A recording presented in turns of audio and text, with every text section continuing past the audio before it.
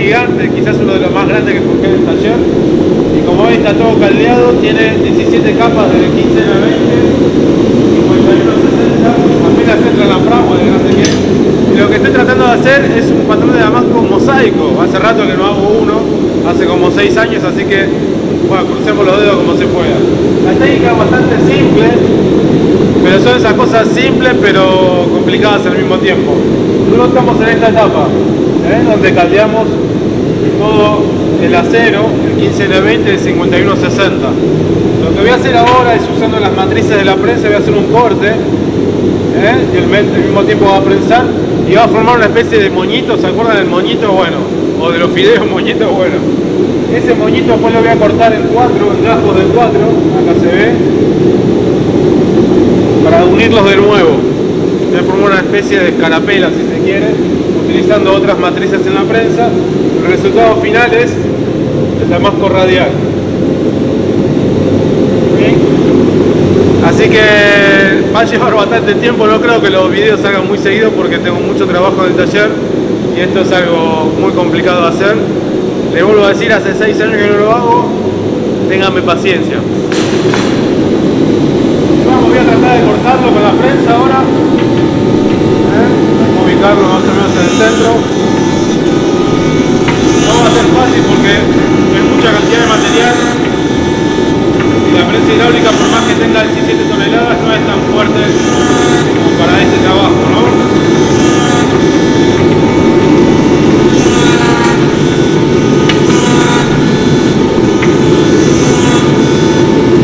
Ahí empieza a formarse lo que les decía, ¿ven? Una especie de moño con el corte ahí en el centro. Bueno, hay que hacer otra pasada más para que se termine de cortar.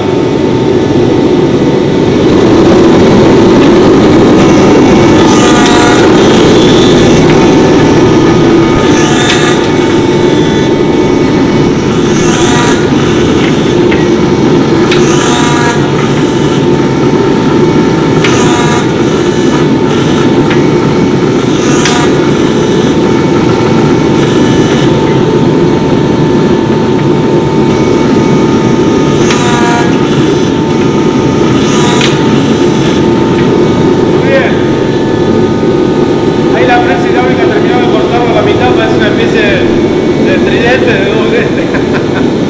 Así que bueno, ahora viene la parte de limpiar y tratar de hacer un mosaico con todo esto. Una vez que cortamos la barra de acero damasco con las matrices, como vieron recién, bueno, se forma esta especie de triángulo, de pirámide de acero, todavía está caliente. Y esto lo que hace es el efecto que estoy buscando para mi radial. Eh, acá corté un pedazo, una punta que tengo que descartar y ahí se ven todas las láminas cómo convergen en este punto, ¿no? Se va formando una especie de triángulo, estos son gajos, yo necesito cuatro de estos caldearlos de nuevo para formar esta especie de sol, ¿no? Que irradia, por eso viene la palabra radial. Una vez que tenemos la barra cortada así, obviamente la dejamos enfriar y la vamos a rectificar toda. Queremos que las caras estén lo más planas posible, lo más limpias, porque eso va a facilitar el caldeo y el patrón va a quedar mucho más limpio. Lo que voy a usar es un disco de fibra de marca BCM, acá se ve, es un- tiene un respaldo sólido. Y esto lo que tiene de bueno es que va a retirar una buena cantidad de material y me va a dejar la superficie bien rectificada, que me va a facilitar mucho el trabajo de caldeo. Así que voy a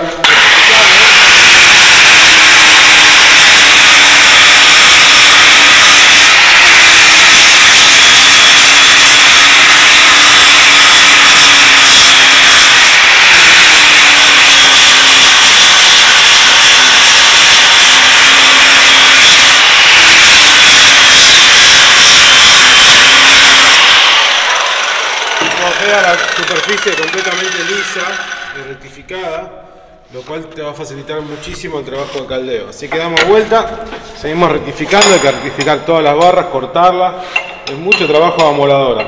Que logramos rectificar bien las caras de, de esta especie de pirámide que hemos hecho, le dividimos en cuatro, ¿no?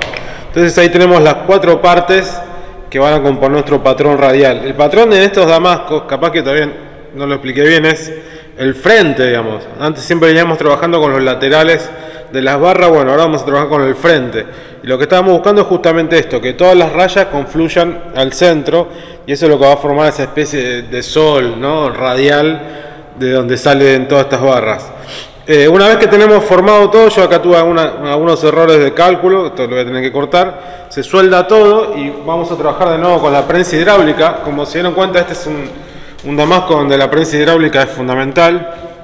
Y yo cambié las matrices, ahora puse unas que tienen la forma justa para yo apretar todo el paquete ahí en el medio. Obviamente esto dicho así suena facilísimo, en la vida real cuesta bastante más.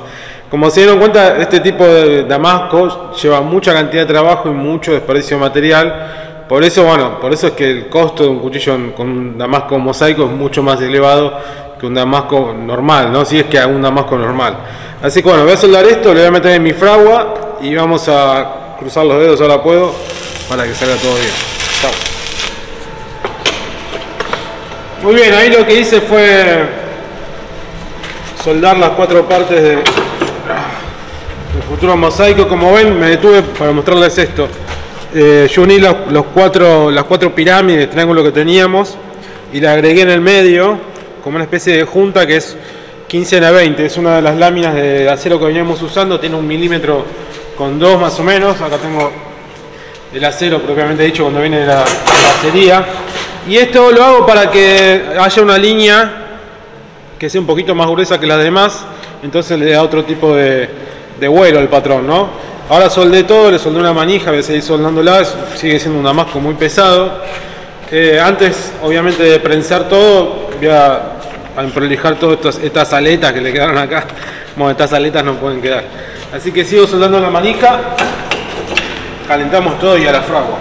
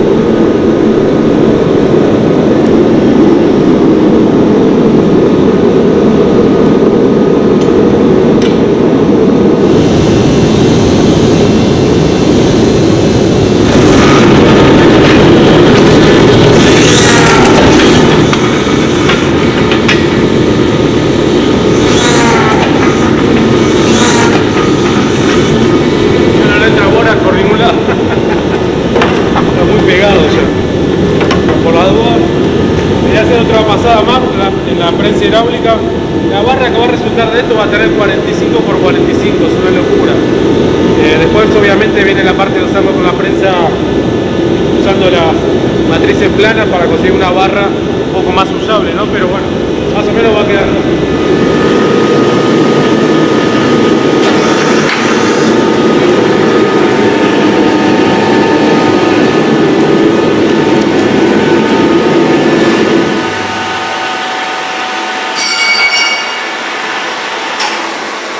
Lo que hice fue, bueno, me vieron ahí escuadrar esto con los con las matrices y lo que hice ahora que no me aguantaba a ver cómo quedó es cortar una rodaja con la moladora. Esto todavía sigue caliente de la fragua, así que lo voy a dejar acá. Y tengo este pedazo de que es la punta, ¿no? Es algo que siempre se descarta. Voy a lijar un poco con lija 36.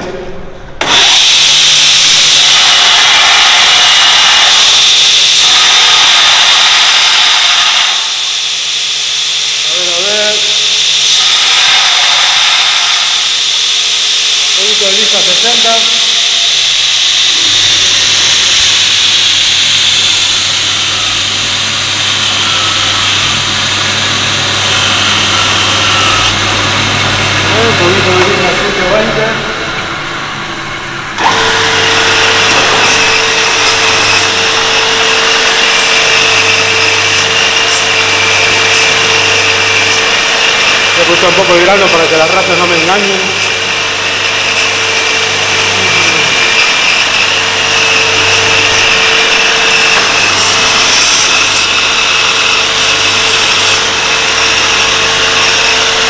Ahí se ve, completamente sólido.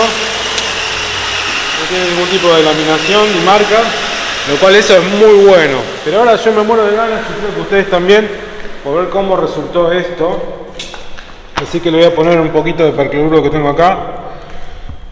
Eh, lo voy a dejar descansar un poquito ahí. Mientras me pongo unos guantes. Un ratito después, unos 3 minutos después, me puse los guantes, siempre trabajo con guantes con esto. Así es como viene quedando nuestro patrón mosaico radial. ¿eh? Como se acuerdan, el radial este está compuesto por cuatro gajos como este que tengo acá. ¿eh? Tic, tic, tic. Y después los unimos, como se ven ahí se ven claramente las líneas que le agregué, ¿no? El 15 en 20 es un poquito más grueso. Y así es como está toda la barra del Damasco, la barra gigante que tengo por ahí. Eh, entonces, lo que nos queda ahora es... Uh, sigue caliente esto. Toda esta barra está así, el frente, todo, todo, todo, todo por acá está así, es como una especie de caramelo gigante, debe pesar 3 kilos por lo menos esto.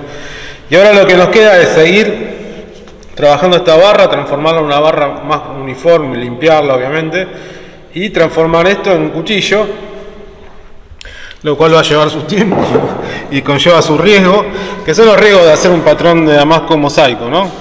Así que bueno, hasta aquí llegamos con esta primera parte. Como les venía diciendo, me van a tener que tener un poco de paciencia porque la verdad que estoy con mucho trabajo y cada vez me cuesta más parar para hacer videos. Pero de a poco vamos a ir descubriendo la técnica del damasco mosaico. Les mando un abrazo a todos, manténganse afilados. Chao.